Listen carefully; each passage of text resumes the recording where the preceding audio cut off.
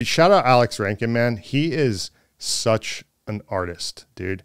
What that dude has always been able to do with a point and a pan and zoom camera is legendary. I've never seen anybody's work be so unique to themselves ever. Blows my mind. Dude. I watched Sprung Five the other day on YouTube, Did and you? it comes out in 2001, and and I was just like, oh my god, the art direction and kind of like just vibe of those films are still to this day like I think it's better art direction than anything out now.